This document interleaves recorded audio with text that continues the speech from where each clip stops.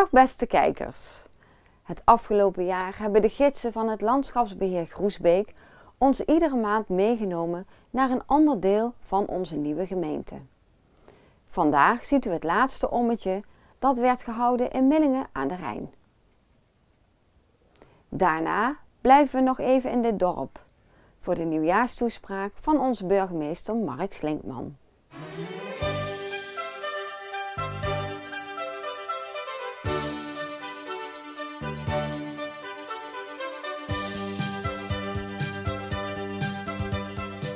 Millingen, dat uh, verwijst naar de Romeinse oorsprong van dit dorp.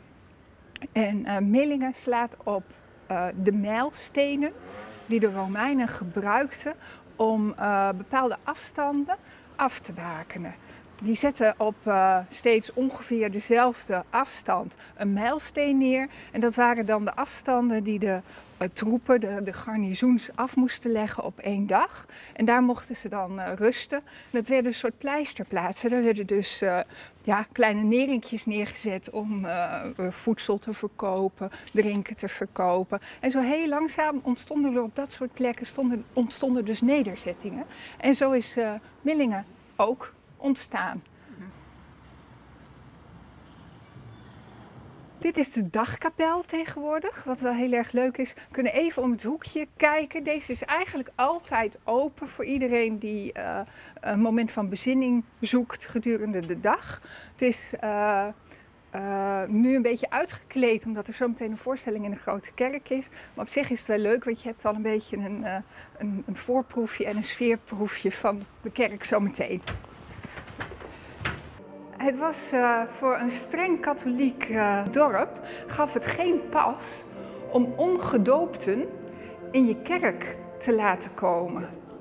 En als jij net geboren was, daarom hebben de katholieken ook het gebruikt dat een kind zo snel mogelijk gedoopt moet worden. Maar waar moest dat dan gebeuren? Want je mocht die kerk niet in, want je was nog niet gedoopt. Nou, daar hadden ze dus een oplossing voor.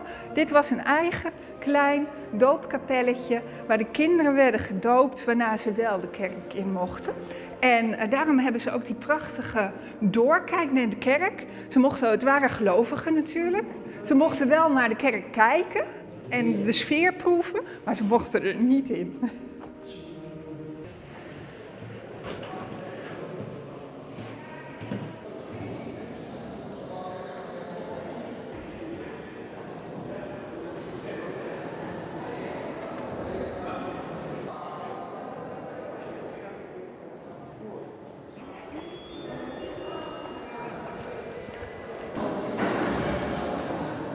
De kerk die hier oorspronkelijk stond, die was veel en veel kleiner.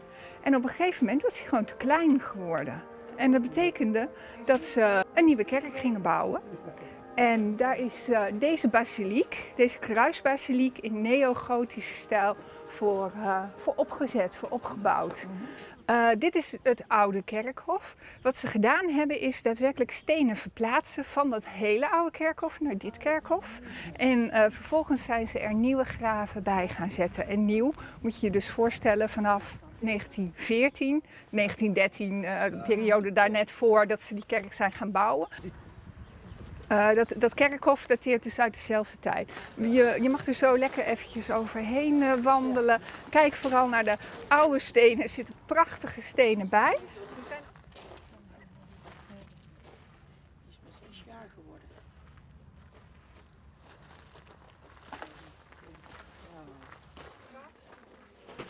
Dat is uh, opgezet voor de uh, de oude, ja, hoe zeg je dat, voorgangers, uh, ja, pastoors. Ik heb zelf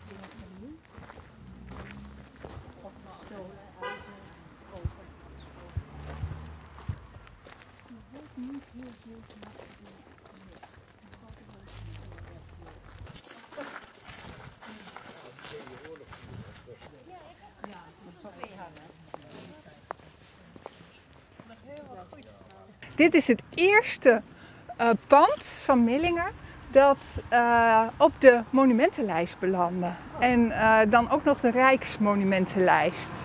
Wat natuurlijk heel erg opvalt is de vorm van de gevel en de rietdekking van de, van de kap. Het is een, een schilddak, een rietschilddak.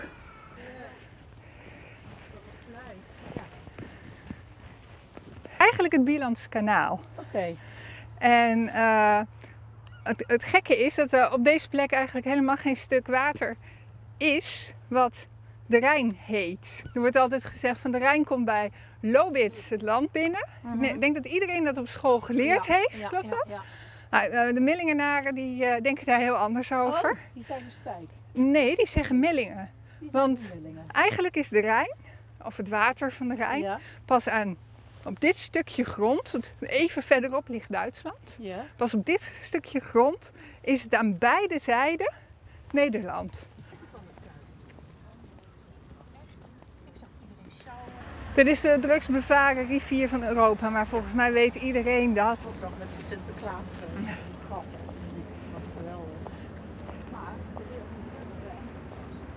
Een bunkerstation is dus een, eh, een supermarkt en tankstation voor schepen. Oké. En dat betekent dus dat eh, eh, je hier je, je zak chips om 11 uur s avonds nog gewoon kunt, kunt halen. Historisch gezien was dit dus echt de plek waar je je bakstenen vandaan moest halen. De rivierklei die daarvoor gebruikt werd was van ongelooflijk goede kwaliteit voor stevige, goede stenen.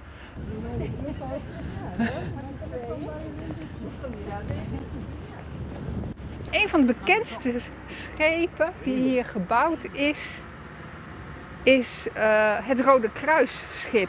De Henri Dunant is hier in Millingen gebouwd. En die is vervolgens heel vaak gebruikt voor eh, uitstapjes van mensen die ehm, ziek, behoeftig enzovoort enzovoort waren. Vanuit het Rode Kruis. En er werden de tochtjes eh, over de Rijn gemaakt, Rijnreisjes eh, ja. wel te verstaan. Uh, nou ja, die scheepswerf heeft eh, jarenlang hier ja, toch een beetje het dorp eh, gerund. Ja. En, eh, een tiende van, eh, van de bevolking werkte daar. Nee, dat is 1 op de 10. Dat is heel veel als je je dat zo voorstelt. En eh, ja, de sluiting van de werf heeft dus ook heel veel emoties teweeg gebracht.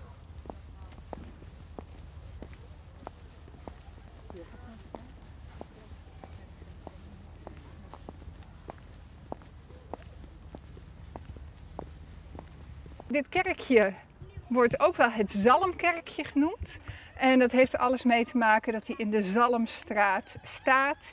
En die Zalmstraat die refereert natuurlijk weer aan het zalmvissersverleden van heel veel van de mensen die in Millingen woonden.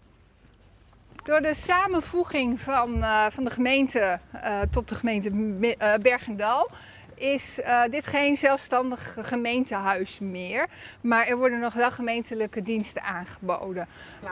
Rijbewijs verlengen, paspoort aanvragen. Dat zijn allemaal dingen die je hier kunt, kunt doen. Dit oude deel is verbonden met een ander oud gebouwtje. Daar staan we zo meteen nog even stil. En daar is een stuk tussen gezet.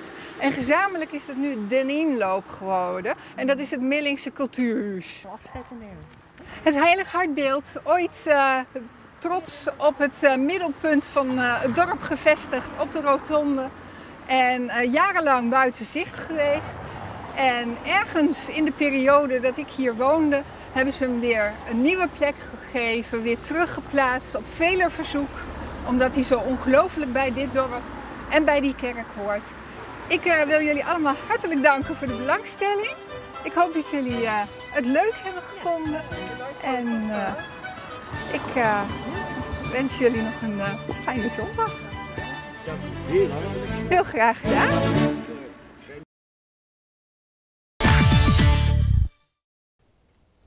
U ziet nu de nieuwjaarstoespraak van onze burgemeester. Maar eerst vraag ik even uw aandacht voor het volgende.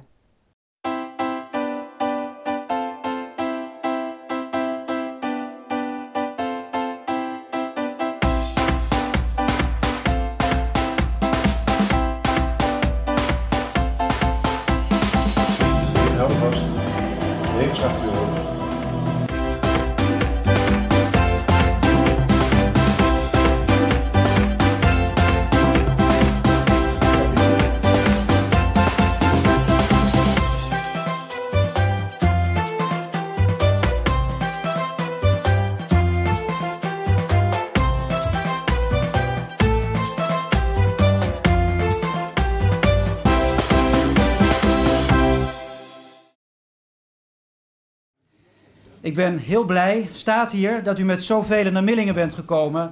En het is nog waar ook. Hartelijk welkom aan allereerst de geestelijke autoriteiten. De zeer eerwaarde heer Smits heb ik gezien, dominee Ruis. En we hopen van harte volgend jaar ook Pastor van Gestel weer te ontmoeten. Alle andere inwoners van Bergendal, ondernemers, wijkagenten, vertegenwoordigers van ons rijke verenigingsleven. Goed dat jullie er zijn. Een bijzonder woord van welkom wil ik richten aan al die aanwezigen. En het zijn er heel wat die het afgelopen jaar een koninklijke onderscheiding hebben gekregen. Als erkenning en dank voor jarenlange inzet voor onze gemeenschap. Ik reken erop dat ik ook het komende jaar weer een heel aantal inwoners van Bergendal zo'n welverdiend koninklijk eerbewijs mag overhandigen. En afgelopen maandag 2 januari hebben we daarmee al een heel goed begin gemaakt met de benoeming tot lid in de Orde van Oranje Nassau van mevrouw Beb Maas uit Beek, 81 jaar. En als het goed is, is ze er ook vanavond.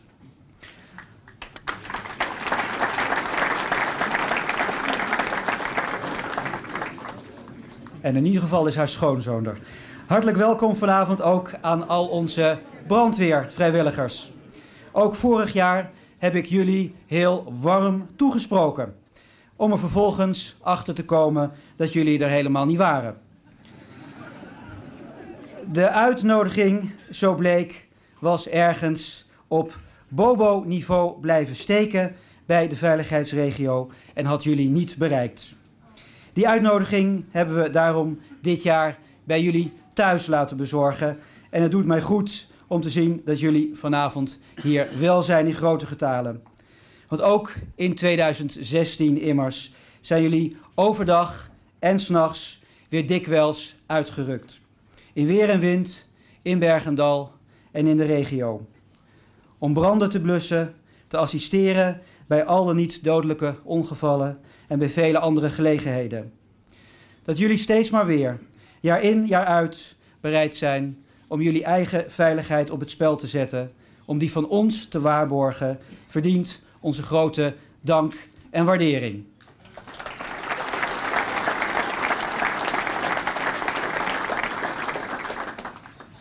Dames en heren, u hebt het al gemerkt bij binnenkomst. Ook dit jaar zal het college niet formeel recipiëren. U hoeft niet in de rij te gaan staan. Blijft u gezellig met elkaar praten. De wethouders en ik lopen vanavond rond en hopen u zo op informele wijze te kunnen ontmoeten en de beste wensen mee te geven voor dit nieuwe jaar. En ik ben ook blij dat we dat vanavond persoonlijk kunnen doen. En dat u mij niet alleen hoort via Skype, chat of YouTube. De wereld die digitaliseert in hoog tempo. Maar laten we toch vooral de toegevoegde waarde van het directe gesprek niet onderschatten. Die zorgt voor onderlinge herkenning, voor betrokkenheid en verbinding en voor de sociale cohesie die onze dorpen zo kenmerkt. Wat mij betreft dus minder beeldscherm en meer real-time contact het komende jaar. Of, ja. Het is nog geen carnaval hoor, dus je hoeft niet iedere stilte te vullen. Op nieuwjaarsdag, dames en heren, vierden we ook alweer de tweede verjaardag van onze gemeente Bergendal. Al heette ons kindje het eerste jaar natuurlijk nog Groesbeek. En we kunnen heel tevreden terugzien op een aantal hoogtepunten. En enkele daarvan wil ik er nu al uitlichten. 2016 was naast veel andere zaken voor Bergendal in het bijzonder een heel sportief jaar. Het jaar immers van de 100ste Vierdaagse meteen ook de eerste keer dat ik hem mocht meemaken en ik vond het een prachtfeest.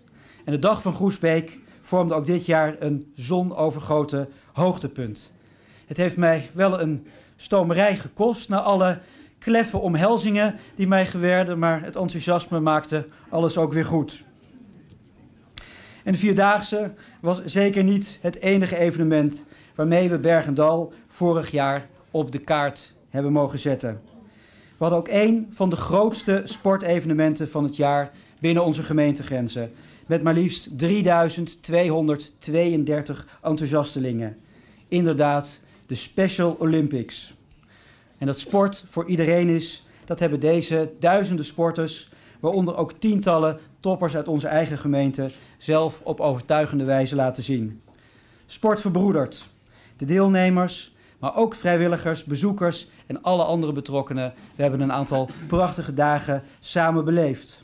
En prachtig ook dat wij in Bergendal van dit spektakel mede gastheer mochten zijn. En dat gold natuurlijk ook voor de Giro, waarvan velen van ons hebben genoten. Ik in ieder geval wel die 28 seconden dat ze voor het gemeentehuis langs zoefden. Prachtige prestaties, maar zeker zo mooi was ook het schitterende decor dat de achtergrond vormde voor die tocht. Want welke gemeente leent zich nu meer voor zo'n wielertocht? Van het Polenlandschap tot aan de Stuwwal. Hier vormde Bergendal letterlijk het hoogtepunt van de tocht. En dan het heden. In Bergendal, dames en heren, leven we niet geïsoleerd van de rest van de wereld. We hebben te maken met vele ontwikkelingen.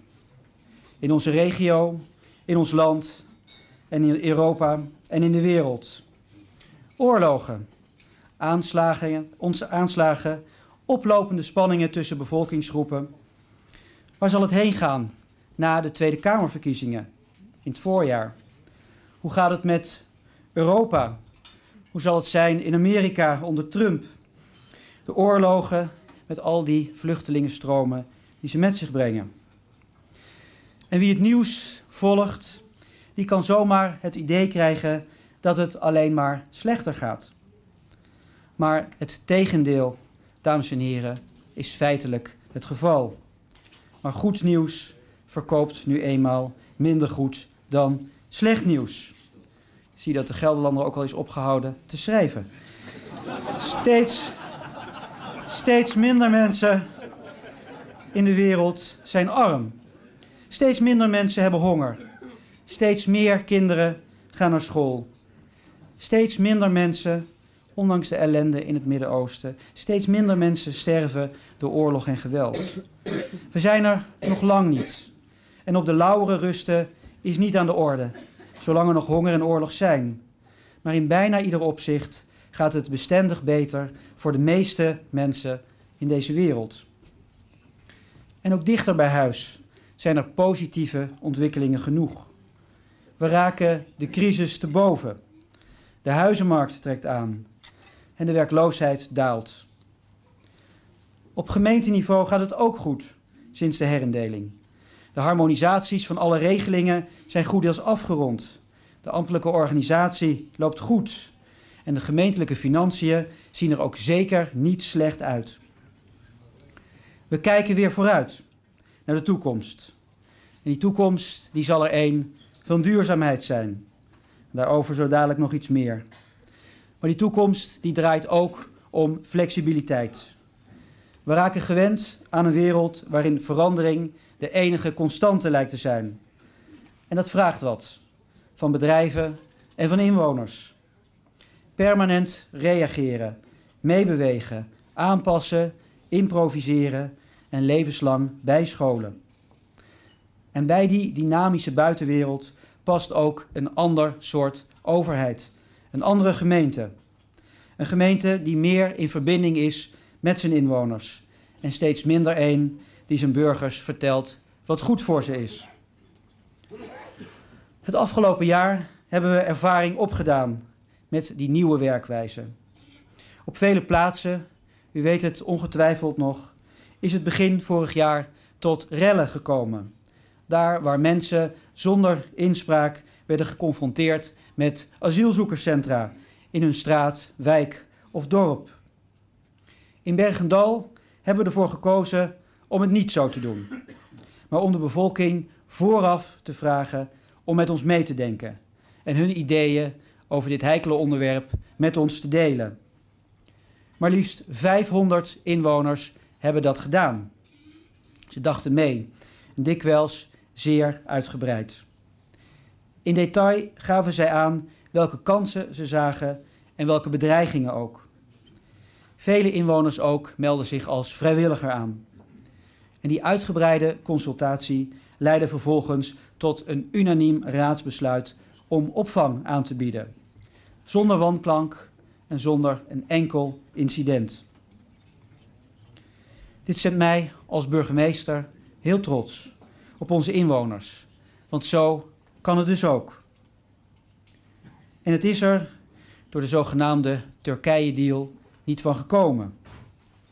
Of nog niet van gekomen, wie zal het zeggen? Maar dit samen kijken en denken over wat er naar ons toe komt, dat is wel heel goed bevallen. En daar gaan we mee verder. Ook in het komende jaar blijven we actief de verbinding zoeken met de inwoners.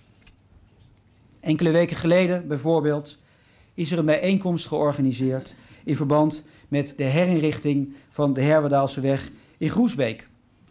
Een heel ander onderwerp, maar ook hier heel bewust niet een kant-en-klaar plan waar omwonenden nog een paar kleine aantekeningen in de marge mogen maken.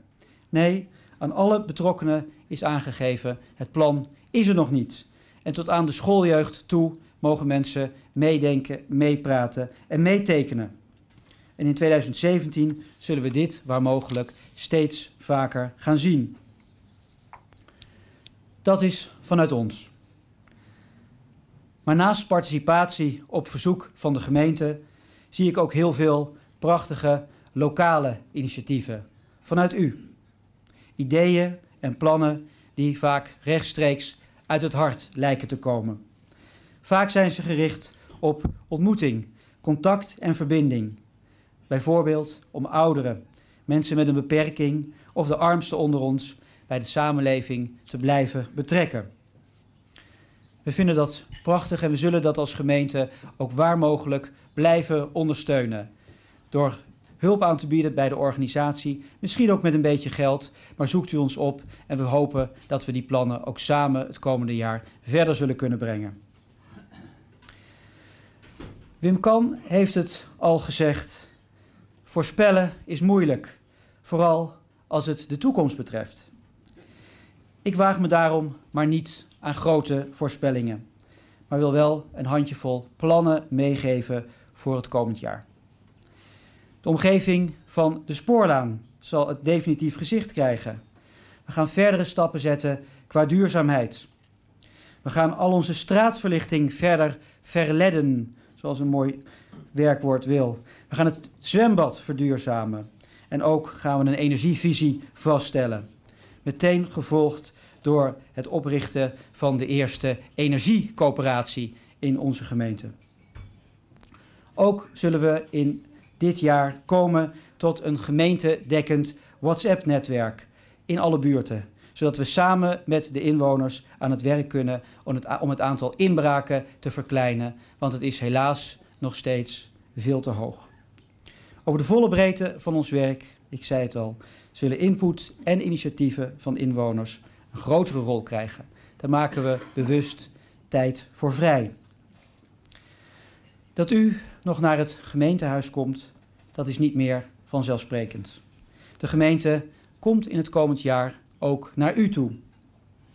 Bijvoorbeeld om op locatie met u te praten over een plan of probleem. Of gewoon om een paspoort of rijbewijs te bezorgen.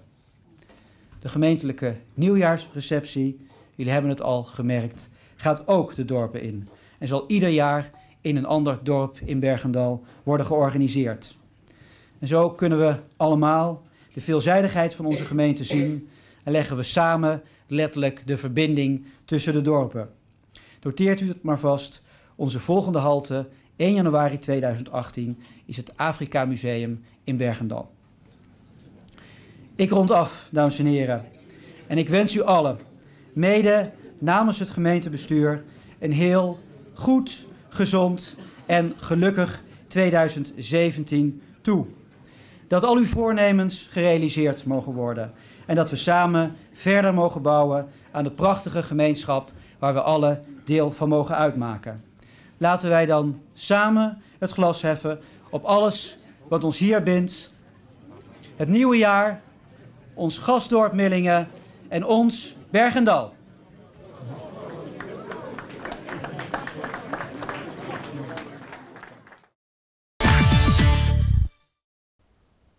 Zover onze uitzending. Fijn dat u weer gekeken heeft en graag tot een volgende keer.